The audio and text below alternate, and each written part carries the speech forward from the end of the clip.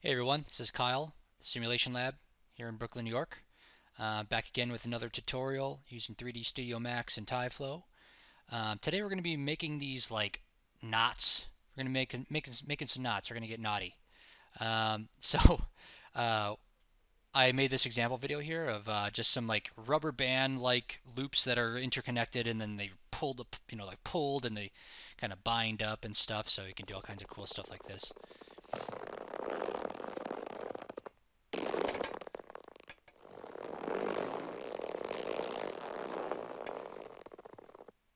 So I'm sure uh, around like Instagram or around the internet you've seen uh, videos that uh, people make uh, where they make simulated knots um, or like rope or rubber like uh, you know twisting like this.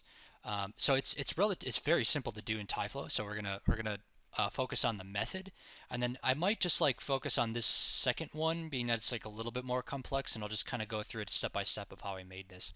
Um, but it is the, the, both both um, knots that I made here in this example um, use the exact same method. So um, once you do it once, uh, you'll know how to do it, and you can just explore and do anything you want with these sort of like loop-like knots. Um, yeah, so we'll, in this tutorial we'll be focusing on this one. So let's uh, let's jump in, and I'll show you how I did it. So like always, unit setup. Uh, I think for this we're just I just use centimeters. One unit equals one centimeter. Um, and then in, in, our top viewport, uh, let's go ahead and create a circle. And I'll do it like like a six inch radius circle, something like that. And then, hmm, let's set up the little weave pattern first like I have here. This the pattern I can't really see, you can't really see, but I like set up like a it's like weaving. I basically just interlinked interlinked a bunch of circles together. I didn't do any complex like scripting or anything to like make that pattern. I literally just like made it in the most simple way possible. So that's what we're gonna do. Okay, now that we have our circle drawn, um, I'm just gonna grab it and then hit W or sorry, hit E turn on your rotate tool and turn on your angle snaps. Make sure that's highlighted blue. And then I'm just going to rotate this 20 degrees and then hit your W key for your select and move and then hold shift and I'm just going to copy that over as a just a standard copy and I think that that should be good about there.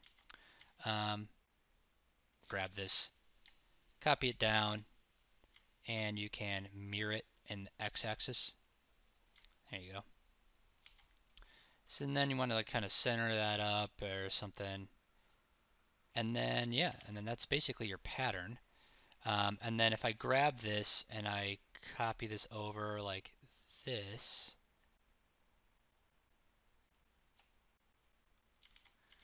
you can see that they're all linked together. They're all they're all looping together there. So that's cool. Um, and then we're going to do that. I'm going to do that one more time and you don't even need to do that really. You could just go like this, grab this, and you can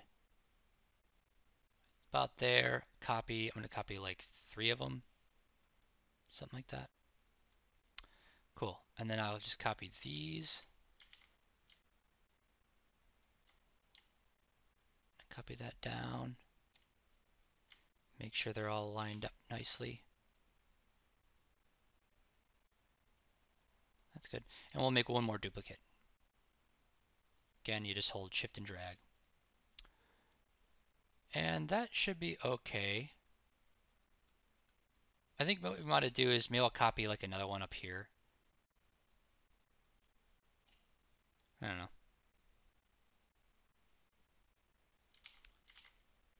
Yeah, that's good. Um, all right, so now that we have a bunch of loops that are linking linked together, right? Um, I'm going to grab all of these.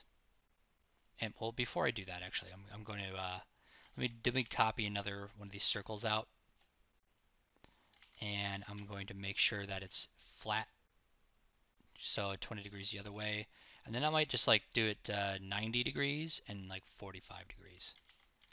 So that way it gives us another loop that we can that we can like put on the side here. Because um, in the original video I had these metal loops, which are a separate part of the simulation, but they're still part of the simulation. So they're just going to be referenced differently. Um, so those are not going to be stretchy. Those are going to be rigid. So we'll set those up now and we'll deal with them later. So I can just copy that over. I can mirror it on the x-axis. And I'll grab these two, hold shift, drag them down, copy, and then I'll mirror these two on the y-axis. And then I'll just kind of put those in there like that. Maybe I'll like move these ones in a little bit. The idea here is you don't want any of them touching. You want, want to give plenty of space, as much space as, as you possibly can in between um, the loops, but you still want them interlinked.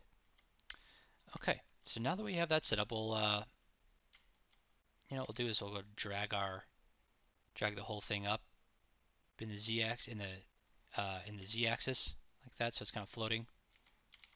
And we can center this up a little bit more. Okay, cool. Now that we have that set up, we'll uh, get to our TyFlow. And I guess while we're at it, before we do the TyFlow thing, we'll just uh, we'll create something for it to collide into. In this original video, I did like this sphere that I put like a noise modifier on. So maybe we'll do something like that. So put the sphere in here.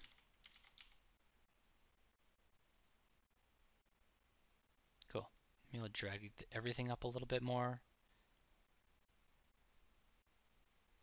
Nice. Awesome. Okay, so now we'll create a Tyflow object and put that in our scene. Right. Put that off to the side. And under the Modify tab, we will click Open Editor, right? And I'll drag this out so we can see everything. Cool. And uh, first things I'm gonna first thing I'm gonna do is I'm gonna birth spline. So drag a operator out, and then I'm going to grab all of the splines, all of these circles, right? And I'm gonna deselect the corner rings, and I'm going to add those.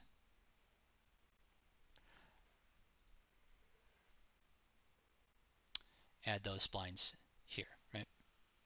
So now in our layers manager, we can now we have all these circles selected. What I could do is just put that in a new layer and call these um, circle refs rubber. And then maybe I can grab these four and add them to a new layer called circle refs metal. Make sure my zero layer is still on.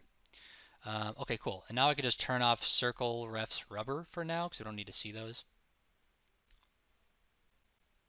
Now we see a bunch of dots that uh, represent our rings, which is cool. Now we can see them a little bit more. I'm going to put in a shape operator and change it to geometry. Right.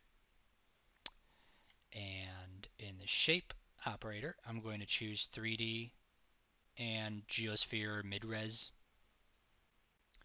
And then we're going to want to increase, now here's the tricky part, right? We're going to want to increase the size of the spheres according to the thickness of the rubber bands that we want, right? Because the uh, the size of the spheres are going to be what's colliding, right? In our shape operator, under size, I'm going to change the scale to like 150, something like that. And that should be okay for now. We can't really tell what's happening, but um, we're going to have to adjust all this stuff because it's a little it's a little tricky. Um, under particle birth in our birth spline operator, we could choose percent along spline. Simple interpolation is fine. and we can just kind of reduce this. And this is really just one way that you can do this. Um, and if you want to make sure that it's like perfectly even, you can kind of like space these out until you get it right. Um, you could do distance along spline and you can like you know set the distance and you can like reduce the distance if you want to. Um, another way of doing this, just so you guys know, um, is we can even we can just go ahead and erase that, um, and I can show you the other way, um, which sometimes works a little bit better. Is you could do birth, uh, we could just do a, a, a standard birth operator, and you do zero and position object, toss in a position object there, and then we're going to choose our um, all of our reference rubber circles. If I double click on the layer, highlights all of them, and we'll go add selected, and then I'll hide that again. And what this will allow us to do is we can choose vertices in order, and then we can birth like 800 do a little bit more and this will basically just like birth a particle on each vertice of the all, all of the circles. Looks like that's all of them so now that's perfectly even spaced right? And you can you could play with this um, in their position object. If you want to do a separation, you could turn on separation and have like uh, you know a certain amount of distance, certain amount of separation if you want. So you have full control over like the distance that the particles are away from each other at the beginning of the simulation, which is really important, right? So now that we have this set up, I'll, I'll just do basically what we did previously. toss in a shape operator, choose 3D, geosphere mid-res, and then in our display, I'll choose geometry. So that way we got a nice and even spacing on all of our spheres along all of our circles. And then our shape operator, I'll just uh, I'll scale this up a little bit, like 150, 140, yeah, something like that. Basically, what you want is you want uh, you want an even distance uh, or even spacing, and you don't want the particles to touch. And in our variation, I'll choose to put that to zero so they're all exactly the same size. So that's looking like it might work. I might decrease the scale like 135, something like that. Yeah, there you go. I don't don't want them to be touching. 130. I'll go with 130 for right now and see if that works. Cool. And again, this is like all up to how you like the scale of this of the the radius of the circle that you started with, and all up to your personal preference. You can make the um, scale and the separation and stuff like whatever you want. But I'll show you what happens if we, you know, if we mess with the the uh, separation and the scale of the uh, of the uh, spheres. Okay, so now that we have that set up, uh, I'll set up a physics shape operator. So toss one of those in there, and leave this at convex uh, for now, and then we'll do um, physics bind. And I'm going to choose rigid joint. And our spring and our, our swing and twist settings, I think I'm going to go with like 9,000 for the spring for both swing and twist. And I'll leave the damping where it's at.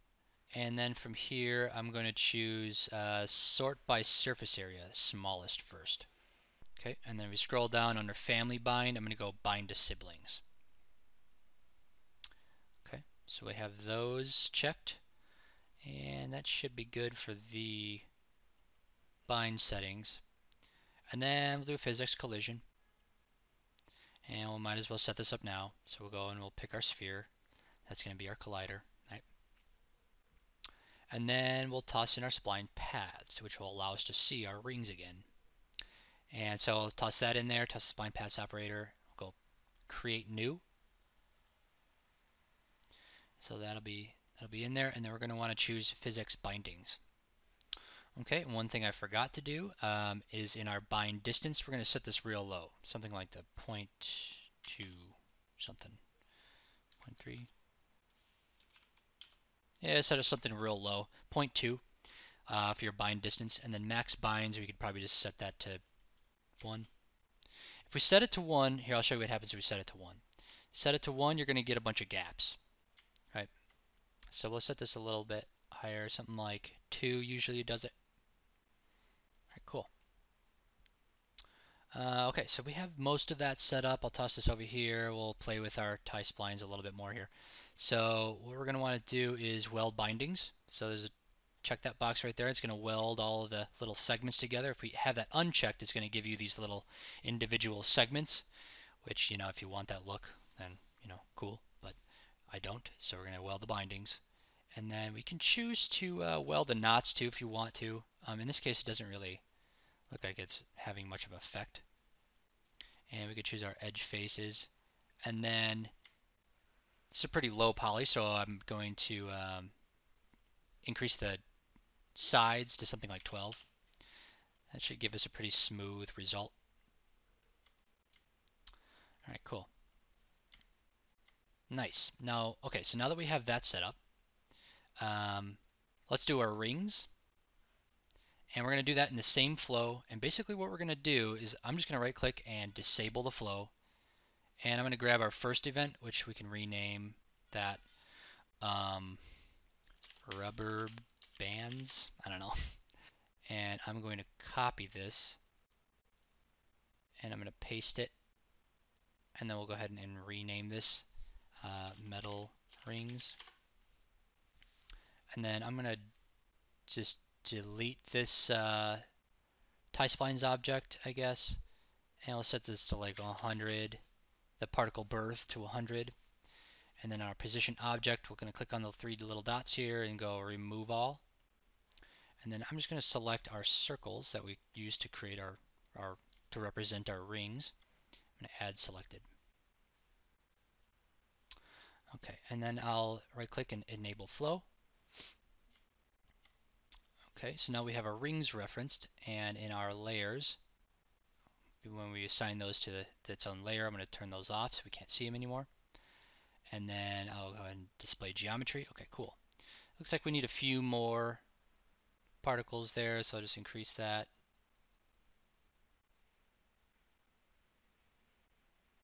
Oops, like 112.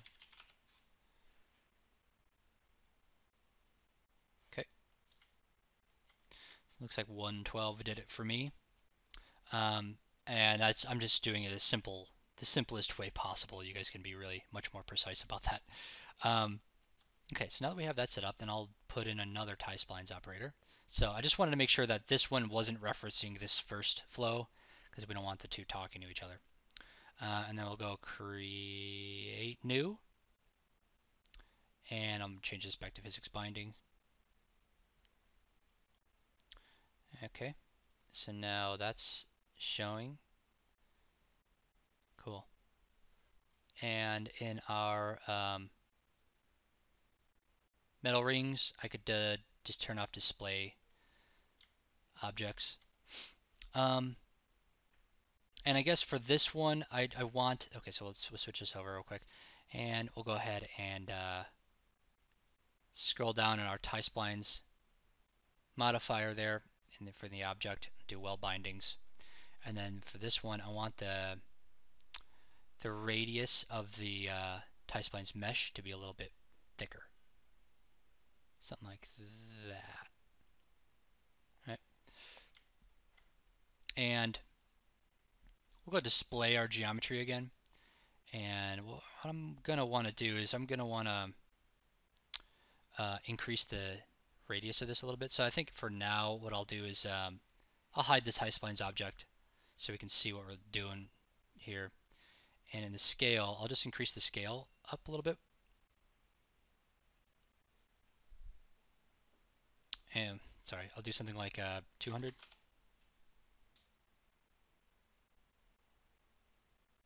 oops, I'm sorry, 200 in the scale.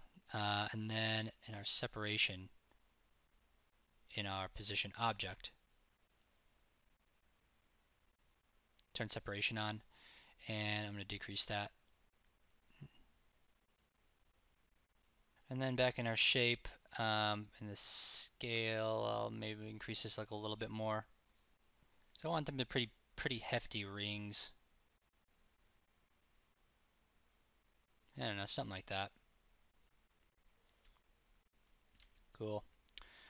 Um, okay, so now we have that. Uh, I'm going to bring back our layers. where it went.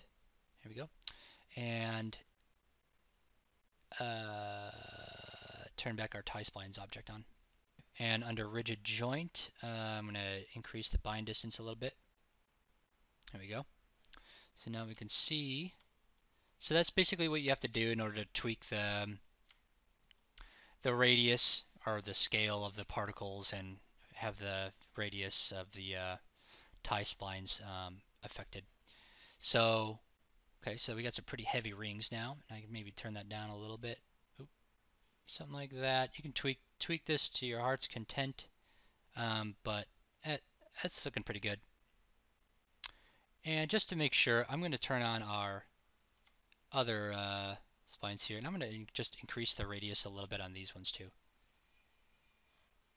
That should be good. We'll turn those off, and we can turn off just geometry. So now we just see our tySplines objects that are being driven by all of the bindings and physics operators and stuff in our TyFlow. So now that we have that set up, um, let's uh, let's check it out. Let's see if uh, see if this thing actually works. So I think I'll turn off edge faces and we'll kind of just scrub it out and see how it plays out. Cool. Wow, that's looking pretty gooey. I think I might do is um, in our TyFlow operator, and if under physics, I'm going to change gravity to something like negative 0.5, and I'm going to increase my substeps to like 20. Let me scrub through.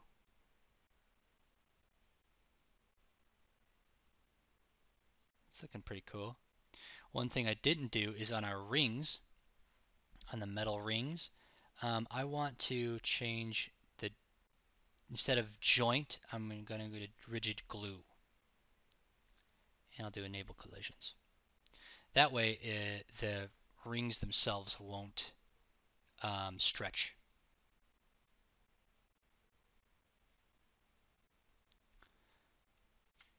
So that's looking pretty cool.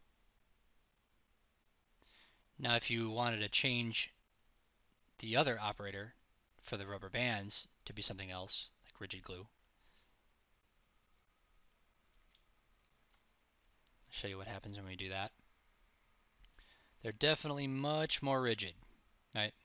So it's all about preference. It's all about like what you uh, what you want to get out of the simulation. This looks closer to like what I created originally in this example video. Um,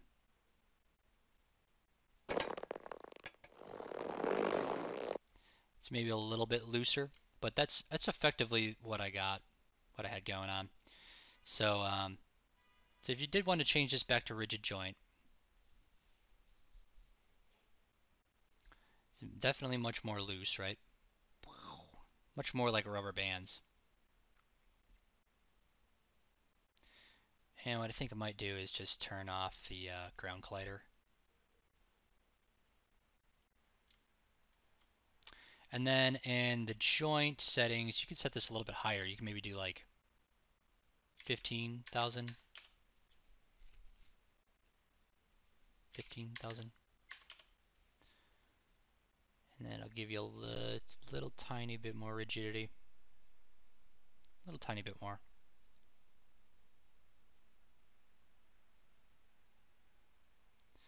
So that's looking pretty cool simming nicely in real time. Um, so you could do a, a, million things from here. You can uh, increase the size of your sphere, increase the radius of that. You could, um, let's toss on a mo noise modifier like I had in the uh, example video. We could do that. Um, so uh, turn on my uh, edge faces. And I'll do something like uh, 50 or something. Um, and then just so we can like see what we're doing, I'll just disable the flow. I just, uh, while we're working on the noise modifier, because I want to be able to scrub through the timeline without it updating. So I'll toss in a noise modifier, real simple, and I'll turn on the scale a little bit, and then maybe an X, I'll do like 20, let's do like 20 all the way around, maybe 25. All right, turn that scale a little bit.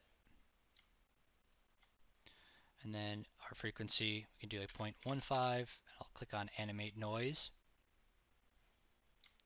Now if we scrub, you know, it'll give us like that gooey, weird looking twisted sphere thing. Which that's kind of cool, I guess. I'll do 20 and 20.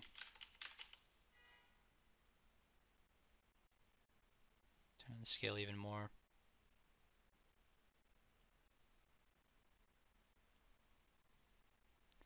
And this you could just totally just like play around with these settings, get get it to what you want. That's that's looking pretty cool. It's looking pretty close to what I did originally. And then all I really did from here um, was I just like, uh, I think I put, let's just do like 210 something, and I'll just like drag this all the way to the end. And then we'll just like set up a little simple little like rotation on it. So if we hit E for a rotator tool, um, I'll drag the timeline all the way to the end and I'll turn on auto key and I'll just like turn it like I don't know, just do like 270. You do 360 if you want, whatever, whatever you want to do. So it's going to rotate pretty nicely. So if you play that, you got like a pretty slow moving jelly-like blob that's moving around and it's rotating. So that's kind of cool. Um, okay. So now I'll bring back our Tyflow and we'll right click enable flow and then turn off edge faces again. And then I'm going to sim this out and I'll pause the video and return. Okay, so I got that simmed out and it's looking pretty cool. I scaled up the sphere to about 15 centimeters um, before I resimmed it. Um, so it's uh, pretty close to what I had originally. Maybe it's a little bit more loose. I think I just, uh, I might have had a few uh, uh, I think I increased the size of the um, spheres inside the rings like a little bit more. Um, but uh, I actually like this one better than my original one. So anyway, now that we have that set up, um, we'll go ahead and do our materials. So uh, let's see. Let's set up the material real quick. I'll show you how I did that. Okay, so I got my uh, set uh, my main renderer to FStorm, and then under Tools, convert scene to FStorm.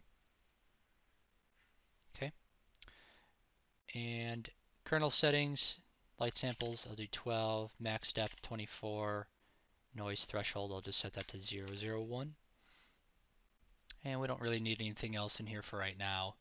Um, I might toss in an HDRI map in a little bit, but uh, yeah, we'll just set up our main uh, materials now for the uh, for the rings. Um, I'll just do the same materials that I did for this one, so I'll show you guys how I how I map that. Um, so let's do um, ring uh, rope rings. There you go. And under, let's do a FStorm bitmap, and I'll choose a bitmap. I think I had, yep, so I had a couple maps that I downloaded. Uh, these are some free maps that you can get on um, textures.com. So I'll check uh, check that one. Go back under the maps. I'll just turn that one on, and then under my bump, I'll choose my there's like a there's like a height map that it came with. So I'll use that for now. And I'll set that to something lower, like one. I don't know. We'll, we'll play with that later. Okay, so now that I have that set up, um, I'm just going to go ahead and apply it to this, to my tySplines object. And obviously you see it's like totally stretched out. So under UVs, which is super helpful, um, and keep normalized UVs checked and you can increase the U and V multiplier. So I'll increase that one a little bit and I'll increase my V multiplier.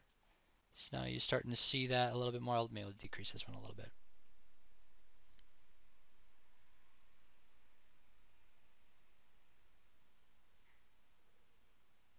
So that's super helpful to have uh, for doing stuff like rope because it like basically just like bakes on the UVs to the objects, which is really cool.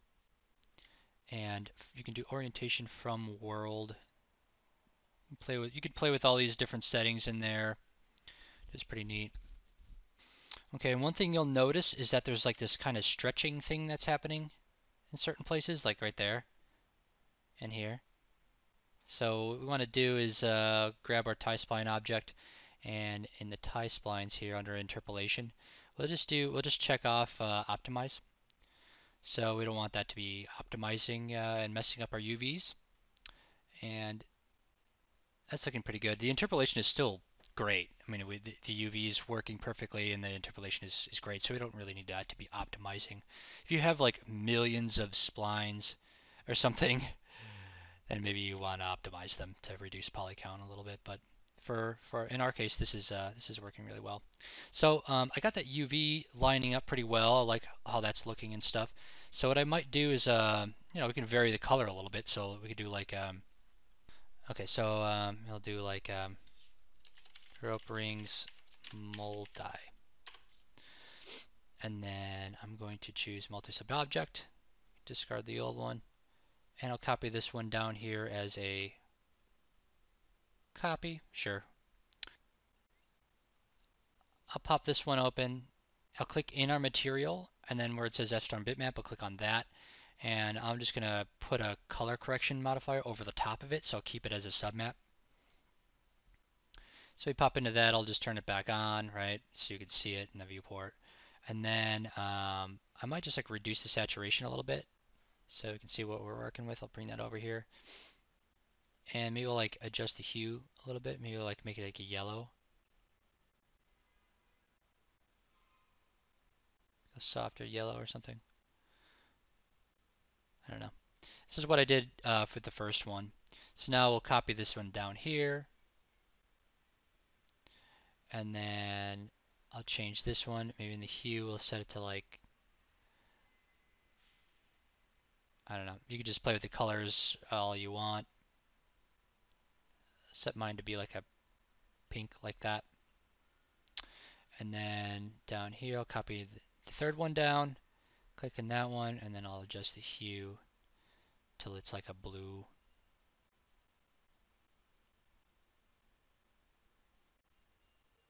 Like a little bit turquoise blue. That should be cool. So now we have our three different ring colors, right? And then uh, select our tie our tySplines object, I'll apply that, and then on top of our tySplines, um, we'll do a um, material by element, and then I'll do like a random, uh, do a random, we'll do a list frequency, and we'll do like an even 33, 33, 33. So now in the rendering, that'll show up uh, with different colors. So we'll check that out in a second. Um, all right, so now our this other tySplines object. We want to make them the chrome. Uh, we could do that. We could do like um, make a chrome material. Chrome materials are typically the diffuse color is black. Reflection is like closer to white, right? Glossiness will do like 0.75 and then the IOR will bring that up to like 10. So that'll give us a nice chrome look. Okay, so now we have our chrome. I'll apply that to our rings and I'll apply that to our little blobby thing, to our blob. Cool, and now let's uh, quickly set up a camera. So under FStorm, under cameras and FStorm, do a FStorm camera. And I'll just toss it in like right there. I'm not going to be too precise with it, so I'll just like drag it up I'll change this viewport to FStorm camera. And then under our, our render settings, under common, I'm just going to do like 1080 by 1080, perfect size for Instagram. and then under FStorm camera, in the viewport, click on that, and then I'll do uh, show safe frames. And then I'll do default shading, maybe we'll like drag that up a little bit more. And I'll drag it up in Z. So we can see what we're do dealing with here. That's kind of cool. Of center it up. Cool. All right. So under lighting, FStorm, FStorm light. I'm to choose a disk. I'll set that to something like 10 for the power. And I'll just pop that in the scene there.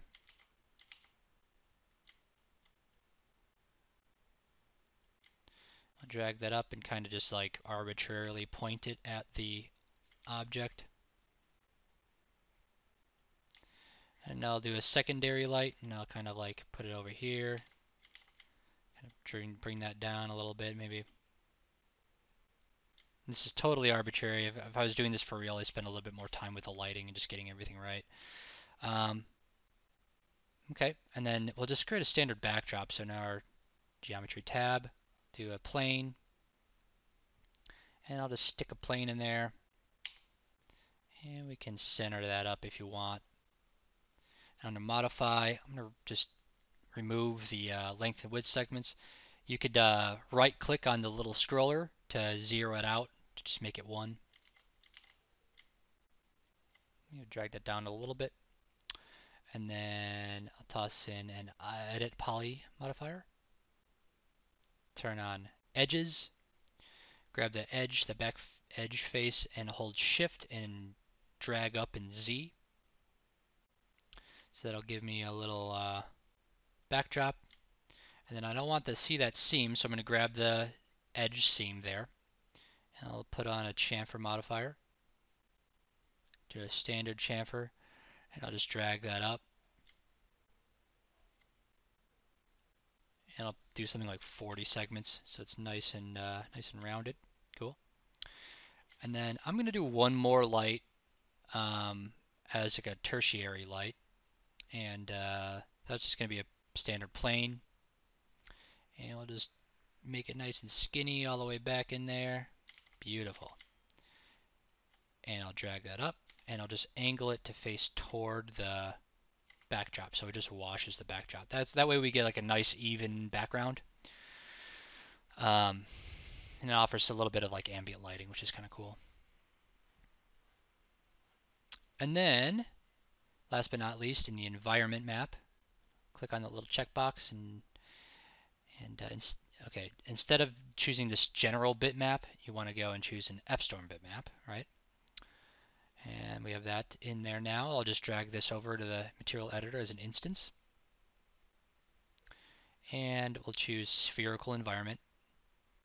I'll go ahead and choose an HDRI map. Okay, so I'm going to choose this HDRI map, just like the random one that I have. Um, Okay, so we got that in there, and I'm going to change the gamma to like 2.2. Maybe I'll change the multiplier to something like 2. We'll just see how this looks. So now that we have that set up, um, under interactive render, uh, let's just go ahead and render it out. I'm going to save this real quick. Okay, got the file saved and I'm ready to render. So hit RT mode. Cool. So that's looking pretty good. It's looking pretty close to what I had. So know, uh, we can increase the lighting. We can play with the lighting just like a little bit. And I'll lock the viewport there. And we'll grab our primary light. I might just put another light on top. Something like that. Let's see how that looks.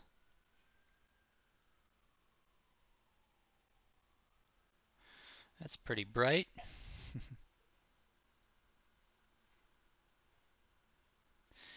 but it's uh, it's pretty important to like make crucial decisions about what you want to do with the lighting.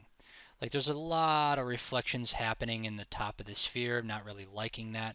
So I might I might light this directly from the HDRI map, um, which in that case you'd just pop this little setting on here, direct lighting, and then I would just disable a lot of the other elements that I have.